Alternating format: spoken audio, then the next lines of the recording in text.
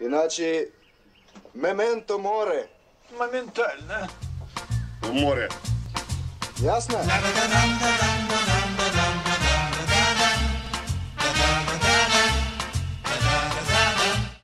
А, Здравствуйте, дорогие друзья! Сегодня у нас в гостях, знаешь, Серега, сегодня у нас в гостях реально удивительная девушка. Несмотря на то, что она бронзовый призер Олимпиады, чемпионка Европы по художественной гимнастике, она тот человек, от которого никогда не знаешь, чего ждать.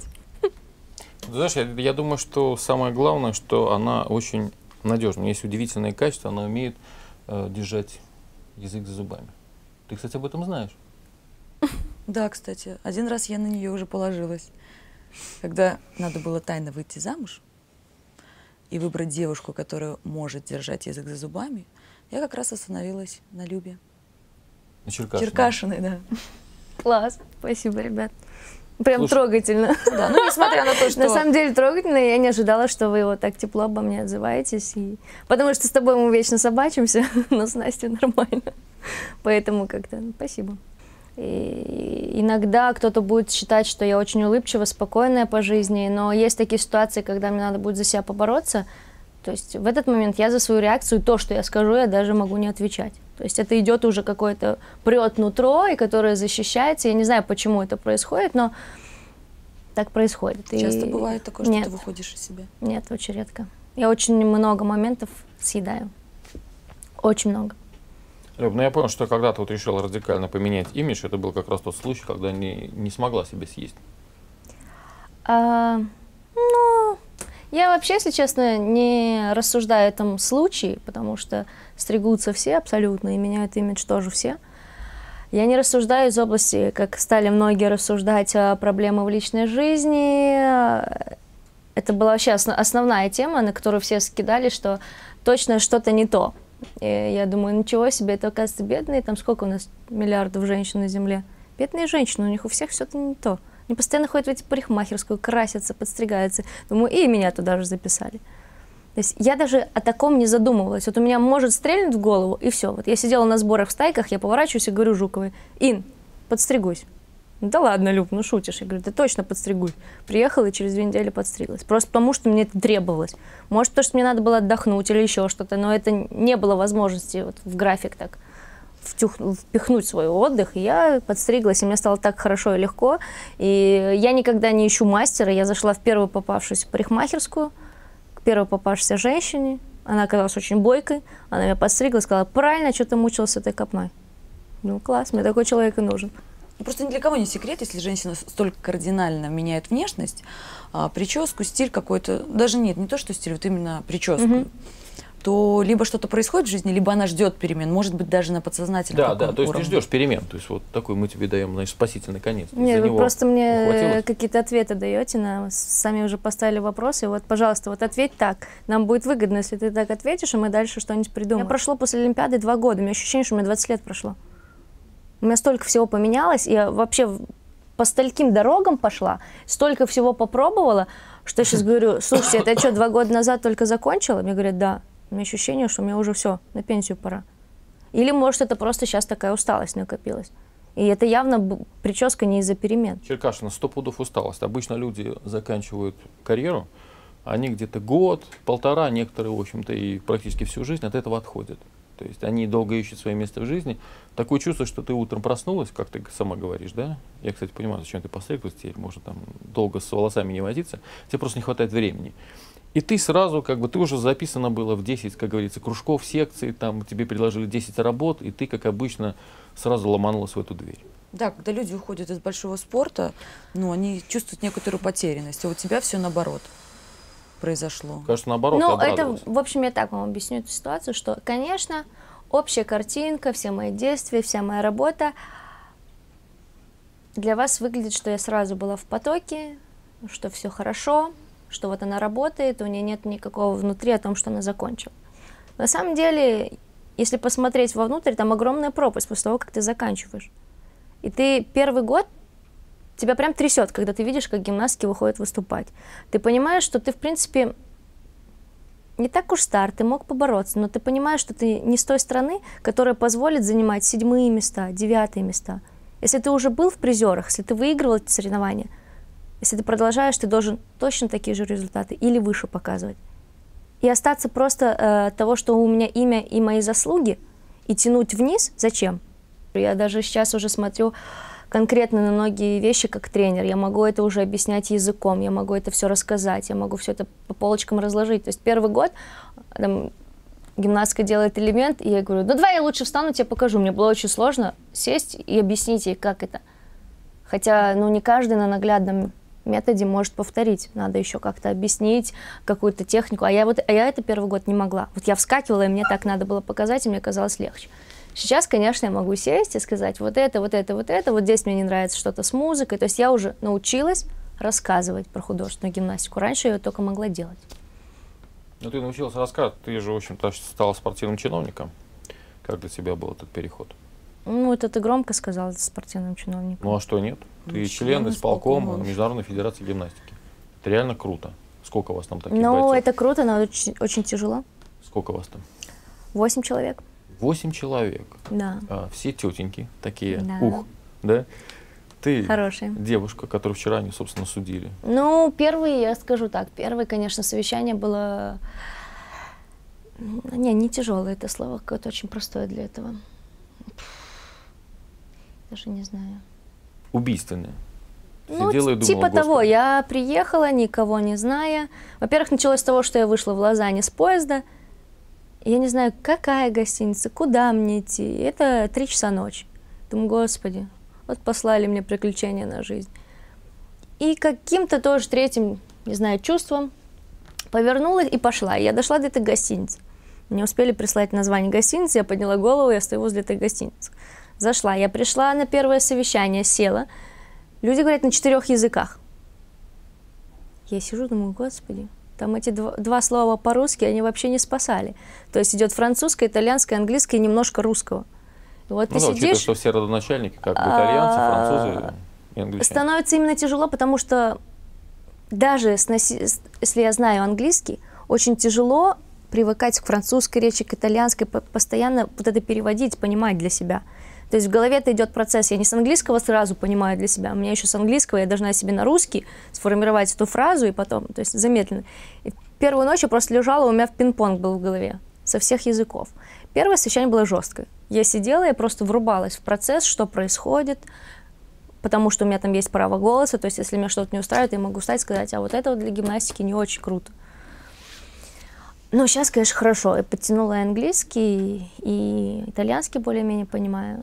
Французский просто мне не нравится, поэтому песни, да, французский язык нет, поэтому я и не пытаюсь его понять. Но надо. А тебя там вообще все-таки ты моложе, правильно, порядком, чем Мгм. остальные. А, Ну, к моему да. удивлению, очень уважительно относятся, прям есть- очень. И тот вариант, когда даже если брать первое совещание, они ждали, пока я как-то косо-коряво могу что-то объяснить. И никто не смеялся, и все говорили, Люба, теперь ты должна сказать свое мнение.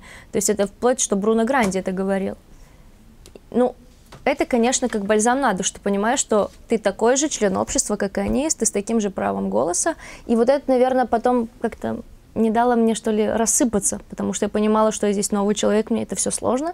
И проще всего было, ну нафиг это все. Но сейчас мне нравится, что я там. Мне нравится, что можно быть в курсе событий. Мне нравится, что наконец-то в Международной Федерации есть представитель Беларуси. И дай бог сейчас, конечно, я сейчас представляю себя как там спортсмен, да, я представляю спортсменов. Но, конечно, в будущем хотелось бы стать членом техкома. Конечно, это выше уровень. Просто понятно, что начинать надо степ-бай-степ, шаг за шагом. Ну, а как реально ты там можешь помочь нашей белорусской художественной гимнастике? На соревнованиях что там, порешать как? Но это глупый вопрос, Серега. Глуп- глупый вопрос э, и некорректный по отношению ко мне сейчас. Потому что Вопрос может быть и некорректный, но а, совсем что, не ты, глупый. что ты Лёв. подразумеваешь, как я могу понять? Ну, потому что, смотри, художественная Ну, гимнастика – вид спорта субъективный. Вот, Абсолютно. Все, Люди, что судят, не только они а фигурное там- катание. Очень много субъективных да, видов безусловно. спорта. Все, что судят люди, субъективно. Конечно. Секундомер не может оценить выразительность гимнастики. Чувство, которое ты испытываешь, глядя на нее, не может. Поэтому оно будет субъективно. Кому-то сегодня нравится Галкина, а завтра она кому-то не нравится. А Понимаешь? от чего это зависит, Люб? ну, от многих вещей. Если вы хотите, чтобы гимнастика стала объективной, ну, по крайней мере, у каждого человека, который судит гимнастику, должна проснуться совесть. Все мы в ладах совестью? Пф, сомневаюсь. Нет, мы можем сказать, да, да, да, вот сегодня по чесноку без проблем. А дальше что? Почему мы не в ладах с совестью? Ну, Ко здорово, мне отличный вопрос. вид спорта. Ну, это можем вообще Люба, собрать ты всех, же, всех ты людей. же изучала, как ты считаешь, почему? Вот я вижу, она отлично. Мне кажется, она в ладах. Я в ладах совести? Молодец. Нет, я просто хорошую картинку сейчас делаю при, при плохой Да? игре, конечно. Не, играет тоже довольно-таки неплохо. Мне тоже нравится. Ну, да, в общем-то, и прическа такая стильная, в общем-то, получилась. Как бы. И мне кажется, Ты думаешь, прическа- у меня совесть не солит, Серега? Еще как шалит. То есть, когда надо А у меня тоже постоянно идет где-то бой с совестью. Где-то понимание, все равно вот идут выступать наши гимнастки, и, и я на них смотрю более добро, нежели чем на всех остальных. Вы Знаете, я сторонник того, что невозможное возможно э, именно в спорте. И на моем веку, когда я соревновалась, у меня было три раза, когда невозможное возможно. Именно было со мной. Но нельзя забывать, что э, Россия мощная, Россия прет, помимо каких-то там, у них есть э, и финансовое обеспечение, и- у них все хорошо со спортивными школами, у них э, энное количество залов, у них лучшие центры, к ним приезжают со всего мира. Это нельзя забывать. Это тоже делает их конкретный фундамент для выступлений. Для меня, ну, как бы, да, хорошо, мы и так показываем результат, но если мы показываем результат, надо дальше развиваться. И в этом надо дать должное, должное Ирине Юрьевне Липарской, что она это делает. Она не сидит на месте, она хочет развиваться. И я каждый раз думаю, ну как можно, как можно, и думаю, ну представляете, у нас Липарская без таких финансовых возможностей, как в России, делает почти то же самое. Мне кажется, у нее есть волевые качества. Ты вот сказал про Ирину Юрьевну. Я смотрю и как-то даже так вот вижу, вижу в тебе Ирину Юрьевну. Видишь, что мне еще учиться и учиться. Ну, я вижу какую-то, знаешь, такую непоколебимую уверенность в глазах. У меня? Да. Фу, я самый неуверенный человек в мире. Ты можешь спросить у моей сестры. Она каждый раз говорит, Люва, как ты выступала, если ты каждый раз за все это переживаешь так? Это, я, я опять говорю, может быть, я научилась держать лицо, может, спорт позволил мне, не то, что позволил, научил меня, и слава богу, что я могу держаться на людях, э, я могу выходить выступать, я могу вот сейчас спокойно с тобой разговаривать, хотя понимаю, что меня снимает камера, и она меня жестко раздражает. Я понимаю, что там не, не то, что слово не воробей, но тут уже все записано вообще, и никуда оно не денется.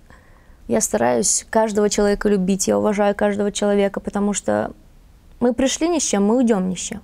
Понимаешь, ты можешь хорохориться, что ты там йоу-чиновник, ты можешь хорохориться, что ты йоу-бизнесмен, но ты не знаешь, когда ты сыграешь в ящик. И я не знаю, и ты не знаешь. Это фиговая тема, но я не очень люблю рассуждать. Я просто думаю, какое видео будем подбирать под это. Вот. Да, давай вернемся Да, я просто- от ящиков гимнастики. Скажи, вот как можно поднять популярность художественной гимнастики у нас, чтобы на нее ходили, ну, по крайней мере, не как на футбол, ну, а, На наш футбол белорусский, ну, Настя, естественно, на наш футбол не ходит. а как на хоккей, к примеру? Ну, они, они, очень, Америки, они да. очень долго к этому шли, чтобы народ пошел. Хок- Если вы берете сейчас хоккей, народ пошел. Он уже более-менее научился болеть. И приходишь, смотришь и как-то радуешься за свою нацию. Все равно мы классная нация. Вот я проводила сейчас, мы общий проводили сбор, э, опять же, это комиссия атлетов, которая работала для того, чтобы поднять э, популярность художественной гимнастики э, в странах таких как Боливия, Пуэрто-Рико. И вот мы для этого делали сбор совместно с международным, ну не с международным, с Олимпийским комитетом Америки. Мысль ушла. Прикинь. Сейчас, подожди. Не, вернись обратно. туда. Не-не-не-не. Тогда при слове Америка у Я многих просто, нет, я срабатывает. просто такое, вспомнила, Америка. я просто вспомнила сейчас этих диеток, все так хорошо. Нет, я, я все. У нас выбирают, мысль, да, мысль выполнять. вернулась. Так вот, слушайте, проводили мы вот этот сбор все вместе, все здорово. И они сказали очень замечательную вещь про белорусов. Говорит, вы такая замечательная нация, Люба. Я говорю, в смысле? Да вам везде хорошо. И я словила себя на мысли, что нам с любой нацией хорошо. И в любом месте. И в любом месте. Наш менталитет – это огромный плюс для нас же. У меня есть какое-то вот, э, если можно обратиться там в администрацию президента или куда-то еще, можно ли такого человека, в общем, вот, как-то ну, устроить туда в депутаты, потому Не что она надо. говорит такие вещи, это очень Не близко надо. национальной идее. То есть я когда послушаю наших депутатов, мне кажется, господи, о чем они? А она вот вроде мысли теряет, но говорит как-то правильно. И Да мысль глядя в ее я голубые мысль, глаза, глаза я мысль голубые, потеряла, потому что Но не вспомнила, какие дети смешные там. У меня уже сразу этот лес, этот зал, эти дети, которые корявые вот так вот поднимают ноги, руки, и ты пытаешься им развернуть и думаешь, господи, ты сейчас тратишь, перелетел океан, тратишь свое время, а авось поможет. Авось, правда, в Боливии будут гимнастки на чемпионате мира выступать. Ну, это и у меня просто эта мысль ушла туда, и я потом, пока вернулась, вспомнила Минск-арену, Да, народ, да, и, и мысль ушла. Блин, я говорю, память короткая. Фух. Ну, ты вот говоришь, дети, дети. А я считаю, что, в общем-то, вашу художественную гимнастику должны популяризировать вы сами. Я попросил вот дать Да, фотографию. ну, ну, ну. Интересно, интересно. Ну, Ничего вот. интересного, но. Ты, ты не узнаешь нашего, нашего А это любимого? Леся Ткаченко, конечно, узнаю. В любой Какая позе. прелесть. В любой позе. Ну, ты знаешь, вот фотосессия была в одном из глянцевых э, белорусских журналов с участием. Вообще, мне кажется, замечательно. Только То я не понимаю, работает, а, можно, можно мне сказать? Я вот в данный момент не понимаю, э, приход Черкаш на эту программу и фотографии Леси Ткаченко для популяризации чего? Художественной гимнастики. Ну, это вообще абсурд. Но ты считаешь, что она не... Смотри, какие позы. Ну, разве это нормальный человек так Нет, я считаю, сделать? что она не популяризирует этим художественную А гимнастику. что она делает этим? Она, ну, популяризирует сама себя, свое красивое тело. Может быть, в будущем там... Ничего в будущем, она и так моделью была. Может, ей там кто-то предложит белье прорекламировать. Может, кто-то без белья поможет пред- предложит прорекламировать. Это не вопрос, но это не популяризация стоп, художественной а если гимнастики. тебе предложат? Потому что у нас очень молодой вид спорта, и вы об этом забываете. Вы пихаете, вы пишете, вам думаете, это классно. Это все плохо. Потому что у нас дети занимаются. У нас уже в 18 лет половина заканчивают. И что, вот на этом примере смотреть и учить детей? Класс, занимайся гимнастикой, а потом у тебя такое будет? Да бред. Пускай пиарятся в ночных клубах, пожалуйста. Только не надо... подожди, А разве плохо, когда Только не девушка надо. становится Ты моделью? понимаешь, что ее гимнастика привела к тому, что ей позволили раздеться и быть э, в этом журнале? Я же тебе об что этом ее говорю, гимнастика. Люба. Так при чем здесь популяризация это? Меня это просто очень сильно раздражает, и вот эта фотосессия... Мне Ничего кажется- не имею против Леси Ткаченко, только не надо вот это приравнивать к популяризации художественной гимнастики. Есть масса моментов, как мы можем ее популяризировать. Например. Например, проводить всякие мастер-классы, проводятся этапы Кубка мира. В следующем году у нас чемпионат Европы. У нас каждый год проводится Бэби Кап. Люб, И ну, чем это не популяризация? понимаешь, это популяризация. Просто Мы то, что все мы говорим- не умеем болеть и сопереживать за друг дружку, это да. Когда мы обсираем Капского после энного проигрыша, зачем? Когда мы недовольны вечно Динамом, зачем? У нас поехали фристайлисты не так, что-то сделали, уже плохо. А то, что там плеяда олимпийских чемпионов, все забыли. Домбрачева упала, у них тоже проблема. Это разная популяризация, и вот это меня раздражает абсолютно. Можете вырезать эти фотографии нафиг, пускай их смотрят где-нибудь, где будет написано плюс 18. Алло, понимаешь, мы сейчас говорим об аудитории, потому что Ну и хорошо. если ты считаешь, что должны вашу как бы, ну, гимнастику смотреть э, дети там 5-7 лет, 11, Да, я считаю, 13, потому как бы, что да? мы тоже воспитываем будущее поколение. И что? Мы не воспитываем, э, к нам не приходят в 18 лет. И когда мне тоже предложили сниматься в таких фото, э, фотосессий, я сказала нет. Меня Кто? спросили, почему? Я говорю, потому что на моем примере учатся дети. И я не хочу, зайдя в зал, чтобы они, ай, а мы видели Любовь Викторовна вас в трусах. Спасибо. У меня мозги на месте. Слушай, Любовь Викторовна, ну, мне кажется, практически все гимнастки, я не знаю, там, с Украины, из России, да, то есть... Это дело называть- личное. Да, то есть практически всех мы уже видели в трусах, в общем-то, Ну, и без трусов, да. и как бы очень здорово, и на самом деле это очень большой плюс. Я с этим гимнастики. никогда не соглашусь. То есть никогда в жизни ты не снимешься в трусах. Я не соглашусь с такой популяризацией художественной гимнастики. И в трусах мне сниматься тоже не, за что- незачем. Не будешь. Зачем? Вот за это, Люба, я тебя и люблю. За то, что ты не такая, То, что все. сейчас проще То, сняться голой свое мнение, да. И Молодец. никого не заинтересовать э, в одежде, очень смешно. Ну, ты знаешь, без одежды как-то заинтересовать проще, на самом деле. Ну, значит, такого же глупого Люба. ты заинтересовываешь этим. Ну, мне кажется, это как бы суть в отношении, в общем-то, людей. Это не суть, это просто животный инстинкт. Ну, а что ж поделать, Люба? Через это все, собственно, вся жизнь устроена. Значит, э, спасибо моей маме, она меня правильно воспитала. Люба безусловно. молодец, вот у нее есть свое мнение, и Притом я не, это- не собираюсь вешать на себя орел святости. Я знаю свои косяки, и многие мои друзья знают мои косяки. И я не святоша абсолютно, но вот это нет. Иначе мементо море. Моментально. В море. Ясно?